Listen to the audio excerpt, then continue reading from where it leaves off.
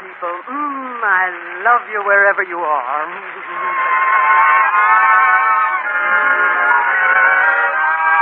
Well, Charlotte is still stranded in Lakeview, waiting for a train reservation to Hollywood, and still attached to the Lakeview Post Dispatch, absorbing a newspaper background for the part she'll play in her next picture. So let's look into her office. Oh, I never could find the K on this machine. Let me see now. There's. Oh, there it is. K A T. Oh, it's a big cat. Capital K A T. Hello? Yes, this is Charlotte Greenwood. Calling from Hollywood? Oh, yes, put him on. That's my manager, Roger Humphrey. Oh, hello, Roger. Nothing's wrong. No, I've simply been too busy to write. No, no, I feel fine. My health's wonderful. The last time I was on the scales, I weighed 130 pounds.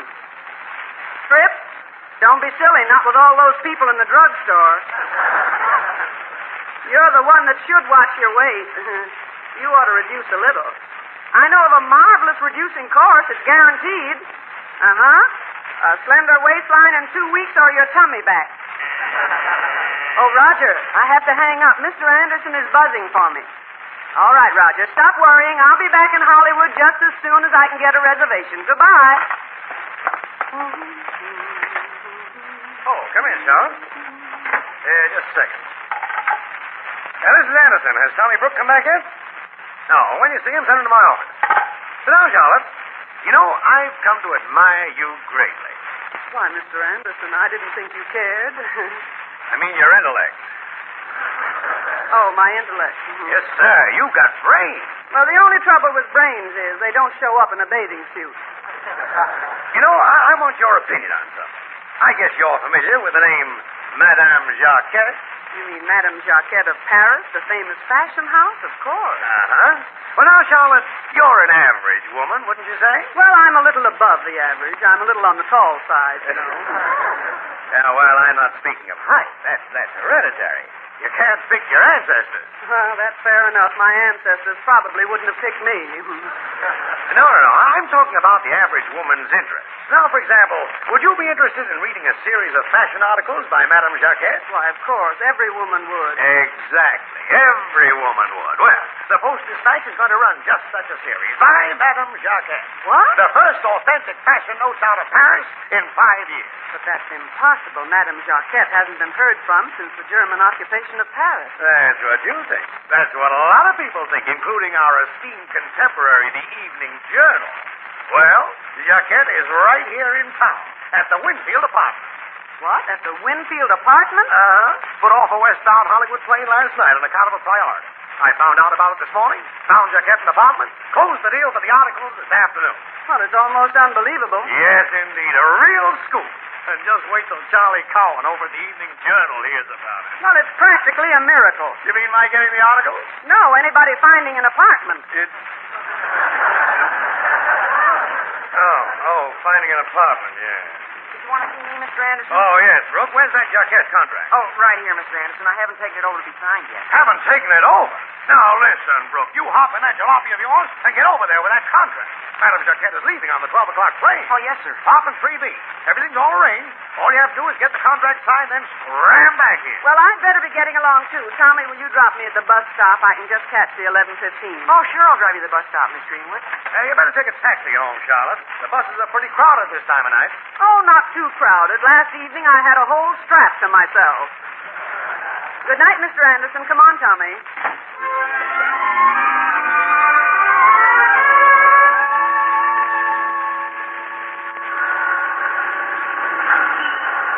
Well, here's the bus stop, Miss Greenwood, but I don't see any signs of the bus. Well, it isn't due for three minutes yet. Oh, gee, I'm sorry I can't drive you all the way out to your cottage. Oh, that's all right. From the end of the bus line, I just have a ten-minute walk. That is, if I run. Yeah, but at this time of night. Somebody was telling me the other evening some guy followed you. Nothing of the sort. but then I'm grateful for the rumor. Well, good night, Miss. Miss Greenwood. Huh? That contract. I lost it. Lost it? Oh, you couldn't. Wait a moment. When you were at that gas station back there for gas and you got out of the car. Yeah. I'll bet that's where I lost it. Oh, gee, Miss Greenwood, Mr. Anderson will fire me for this. If he, he just wouldn't be human. Well, who says he is human? Now, you chase back now to that gas station. You'll find the contract. Yeah, but I haven't time to go there and then get to the apartment. That Hollywood plane takes off at midnight and Jaquette will be leaving. Now, you've got three quarters of an hour, Tommy. I'm going over that apartment right now, and I'm going to see that nobody leaves till that contract is signed.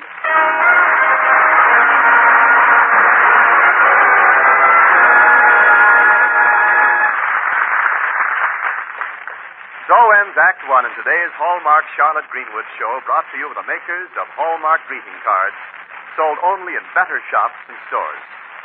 For over 30 years, discriminating people have known that the Hallmark imprint on the back of the cards they buy, like sterling on silver, is always their assurance of the finest quality. So whenever you buy a card for any occasion, be sure to look on the back for the identifying words, a Hallmark card. H A L L M A R K. A Hallmark card. Yes, don't forget, A Hallmark card will best express your perfect taste, your thoughtfulness. and now an old favorite, Whispering, with Charles Hathaway, his orchestra, and the Hallmark chorus.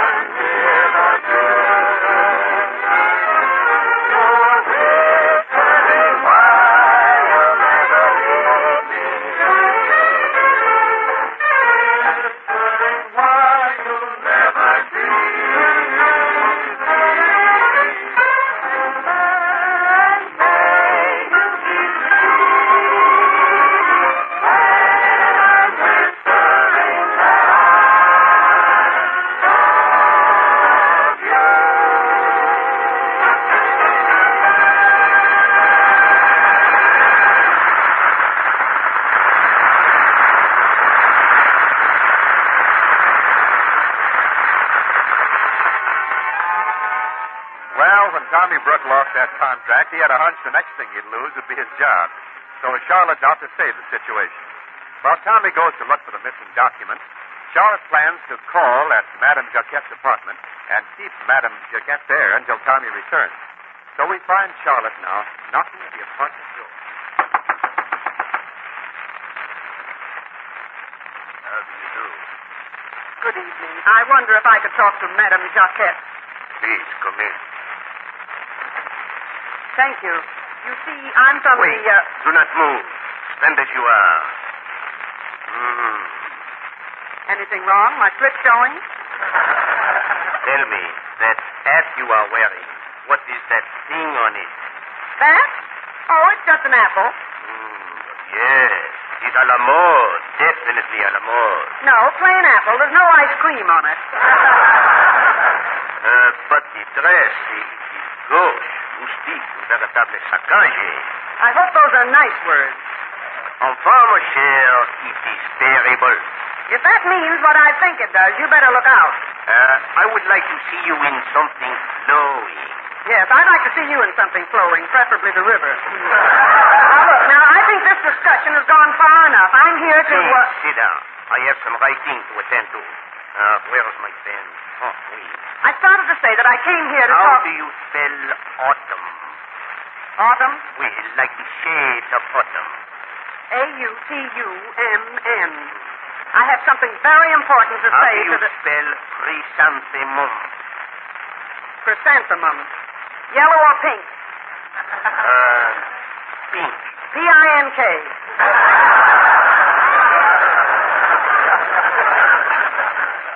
I N K. I have something very important to say. season's colors will reflect the glorious shades of autumn. They will be crimson, they will be gold, they will be B-U-N... But that is punk.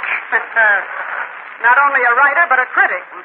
Now, look, I'm very democratic, and I just dote on butlers, but I am here to see Madame Jacquette. My dear lady, Madame Jacquette is a fictitious character. Oh, that's fine. That's fine, running down the character of the woman you work for.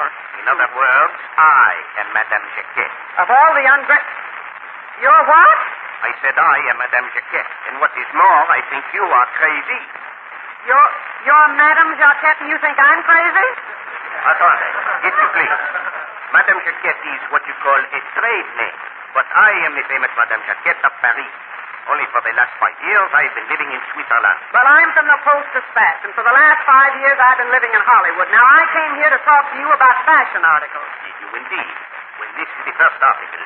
I have just completed it, but since you do not care for my work, Don't tear it, wait. Now, listen, madam. I mean, Mr. Anton Jacquette. My name is Jacquette. Well, my name's Greenwood. How do you do, Mrs. Greenwood? It's not Mrs. Greenwood, it's Miss Greenwood. I'm sorry. You're sorry. Now, listen, Jake. Now, don't pay any attention to what I say. I don't know anything about writing, but I am here to talk about the contract. Ah, très bien.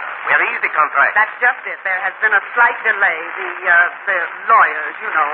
Lawyer? Yes, they got the party of the first part second and the party of the second part first, whereas the second part, all or in part, should have been part of the first part. Will you please tell me what has happened? I am telling you, they're having trouble getting spare parts. And I have a plane to catch. I'm going in the next room here to continue my packing. And if the contract is not there when I have finished, the agreement is cancelled. But, Mr. Jacquette, listen, listen. Oh, thank goodness, Tommy. How do you do? My name's Cowan. Cowan? Yeah, Charlie Cowan. I'm from the Evening Journal. I'd like to see Madame Jacquette.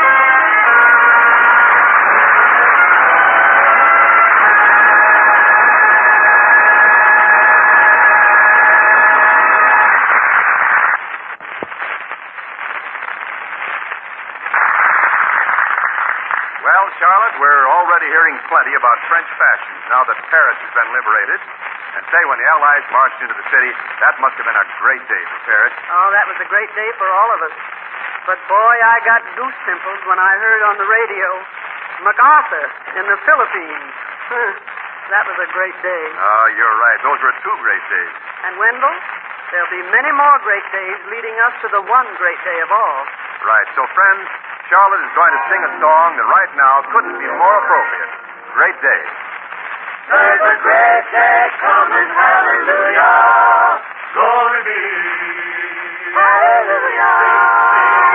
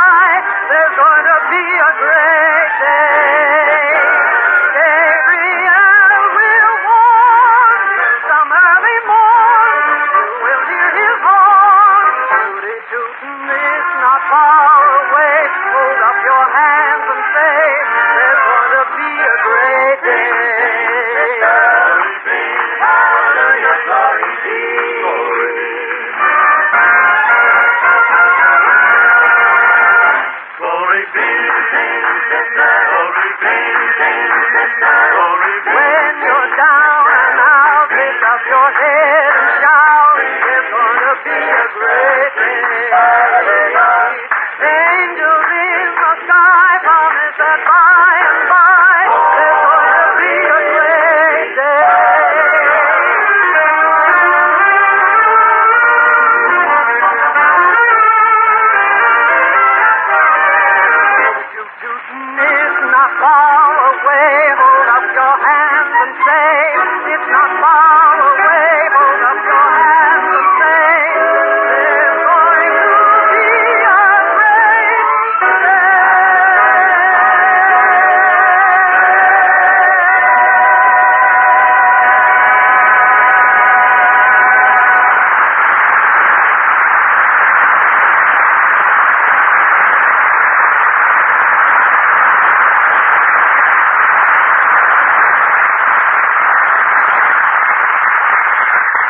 Friends, I know that you're all familiar with Hallmark cards and have sent them on many occasions. They're appropriate Hallmark birthday cards for friends and for each member of the family. There are congratulation cards for weddings and anniversaries and for that new baby. Cheerful cards to help make the day brighter for folks who are ill. Beautiful little cards to enclose with gifts of all kinds and others to say thank you. Friendship cards you can send at any time just to say hello and many, many others. So send a card to keep in touch. And when you do send a card for any occasion, be sure to look on the back for this mark of quality, the identifying words, a Hallmark card. H A L L M A R K. A Hallmark card. Yes, don't forget, A Hallmark card will best express your perfect taste, your thoughtfulness.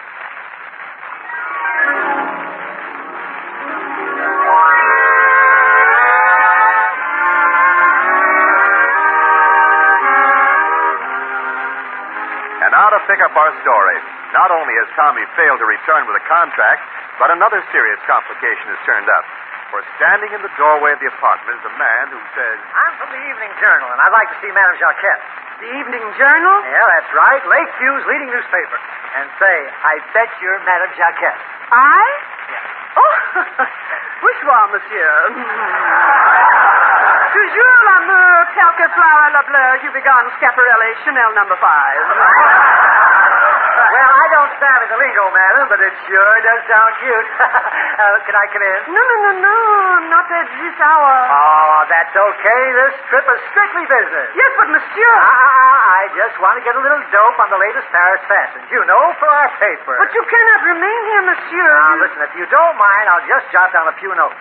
Now, tell me, what kind of hats are they wearing? Hats? Yes. Oh, big hats. Oh. You know, the ten gallon size. Oh. uh, tell me, uh, are they very expensive? No, no, no, no. They are only ten dollars. Oh, ten dollars, huh? Oui? That's a dollar a gallon. Oh, yeah, and uh, how about the hosiery? Oh, monsieur, hosiery, that is very scarce. A girl is très fortunate if she has one single pair. Uh-huh. Yes, she will wear them come see, like this on one day, and then the next day she will, how you say, uh, reverse them. Oh, yeah, yeah, yeah, turn 'em. We, every morning she turns the hose on herself. And uh, mostly we use the, uh, uh, what you call the liquid stocking. We even use it on the face. Oh, oh, liquid stockings on your face. Tell me, does it work? We, but every time you laugh, you get a run in your neck. Ah, say, you're a card, madam. N'est-ce pas? And now you must go. Bon Monsieur Cowan. Yeah, yeah. But just a second. You see, the Evening Journal would like to make a little deal with you, you know, for a series of fashion articles. Hey, what do you mean, fashion? No, no, no. That is impossible. Now, don't say that till you've had a look at our contract. Look, I got it right here. We'll be willing to pay you plenty. No, no, you must go. Permit me, Monsieur. But listen, if you'll just take a look at this contract. It is out of the question. But why? Because, well, because I have not the time. My husband is sick. He is very sick. Oh, your husband. Oh, now go quick. Hey, what is all this? Who is this man? Now, now, don't get any idea. Just take it easy, pal. This is purely a business proposition. You see, I came here to make a deal with Madame Jacquette. Very well. I am Madame Jacquette. You are, Madame. Oh, you're right, lady. He is sick. Now, please go. Okay, so long. Oh, uh, say, you, uh, you sure you don't want to take a look at the contract? Contract? Contract? Of course I wish to look at it. Monsieur Anderson promised he would have it here by 7 o'clock. Anderson? You mean Willie Anderson? Uh-oh, here comes trouble. But yes, I am Anton Jacquet, known to the world as Madame Jacquet. And Monsieur Anderson engaged me to write a series of articles for his newspaper. Oh, wait a minute. Hold everything. I think I'll stay a while. I understood your wife here to say She that... is not my wife. She is from the Post Dispatch. Well, what do you know? A phony. Mr. Cowan, in our set, we say Miss Phony. well, this is wonderful. We can settle everything in two minutes, Mr. Jacquet. Now, just sign this contract here. A And... moment, I will get my pen. But you can't, Mr. Jacquet. Listen. I have no time to listen. There is a plane leaving at midnight, and I propose to be aboard it. Fine, fine. Just sign it, and I'll drive you right out to the airport. But you promised us the series. I do not care what I promise. This gentleman has a contract, and that is the contract I shall sign. Wait. Whatever the Evening Journal is offering you, the Post Dispatch will raise it. Hey, what are you trying to do? Get me into a battle of wits? No, I never battle a person who's unarmed. Okay, okay. If you want to fight this thing out, we'll double our original offer. You will? You will double it? Why, sure. Give me the contract. There you uh, are. Hold it. We'll double that. Why, you're crazy. Are you all right? Certainly. Then I'm glad I'm crazy. Hey, where's Tommy? Why, Charlotte. Oh, hello, Willie. What are you doing here, Cowan? Oh, I just came for the ride, but it looks like you're the one who's going to be taken for it. No, it's just the other way around. What, what do you mean, the other way around? He outbid us for the fashion articles. Outbid! Outbid! Oh, why, this is incredible. This, this, this is insufferable. This, this, this is catastrophic. To think, to think that I should live to see the day when the Post is Dispatch is outbid. But I told you, it is the other way around. No, listen to me. It is simply that I have decided to write for your paper. You've decided to write for my... Oh. Oh, well.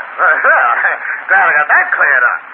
So you had the effrontery, Cowan, to think that you could put something over on the Post Dispatch, huh? Just, just plain business, Willie. Just plain business.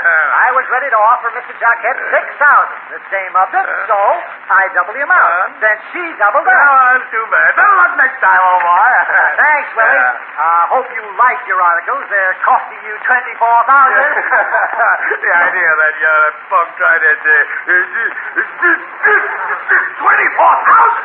Twenty-four thousand? Well, but that'll put us out of business. We'll all starve. We'll all be eating grass. Well, it'll taste better than spinach. Mr. Spinach, Mr. Jacquet, this, this, this has been a mistake. There'll be no mistake. I accepted this lady's bid in good faith, and I have a witness, the gentleman who just left. Oh, Charlotte, how could you have made a bid like that? I didn't know how much money Mr. Cowan was starting with. Oh, well, there you are, Mr. Jacquet. You should be ashamed. Ashamed. Taking financial advantage of this poor, sweet, innocent little child. Who, you mean me? Child, the woman is an adventuress, pure and simple. I never saw an adventuress that was pure and simple. Nevertheless, twenty-four thousand. Oh, now look, be reasonable, will you? Be reasonable. I'll, I'll, I'll meet Cowan's offer of six. I'll even boost it to ten, but the amount is twenty-four thousand. You're a hard man, Madame Jacquet. Here. So you will not forget. I will write it on this slip of paper. Yeah. Together with my Geneva address. Don't forget the zone number. Yes. Yeah, and unless my office receives the money in 30 days, I will sue your publication. Will you, will you just listen to me? I am sorry, but I have a plane to catch. Good night. Twenty, twenty, twenty-four. Oh, we're sunk. We're not sunk. It's the other way around. Here's the slip of paper. Oh, go away, go away. Leave me alone. It says send 24,000 francs. Frank. Did, did, did, you say Franks? Yes, francs. That's what he's written here. 24,000 francs are only $6,000. It is? I mean, it is. Well, well, that's what we figured on at first. Yes, you see, it's so simple. Simple. I'm so twisted around, I don't know what I'm doing. I can't stand much more of this. Mr. Anderson, what else can I do to help you? What else can you do? I'll tell you what you can do to help me. Something that'll help me a lot. Get out of the newspaper business. Get out, but what would I do? I don't care what you do. Do anything. Be a mother. Have children. Get married. Mr. Anderson! Mr. Anderson, it's the other way around.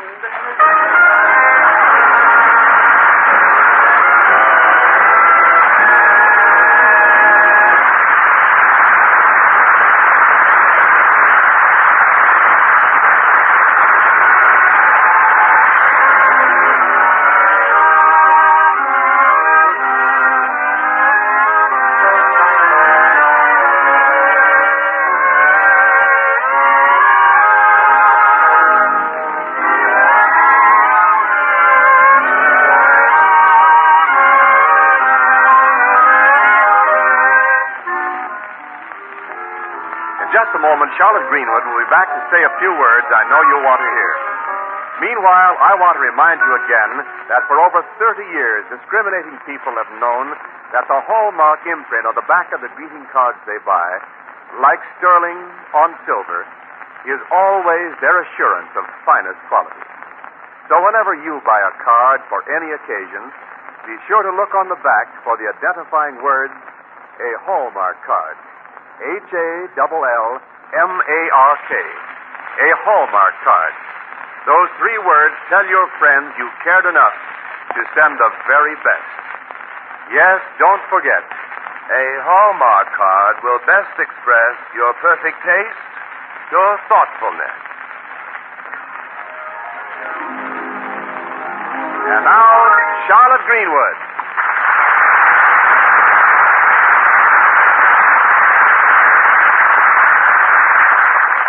Friends, there's never been a time when so many families were disunited, separated by thousands of miles from those they love. Our top ranking officers have told us again and again there's nothing so important to our boys and girls as mail from home. So look around you today. Think of some boy or girl out there who would like to hear from you and do something.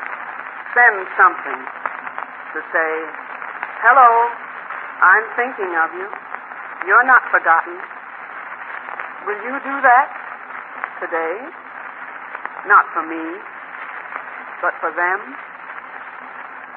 And now, until next Sunday at the very same time, this is Charlotte Greenwood saying, So long,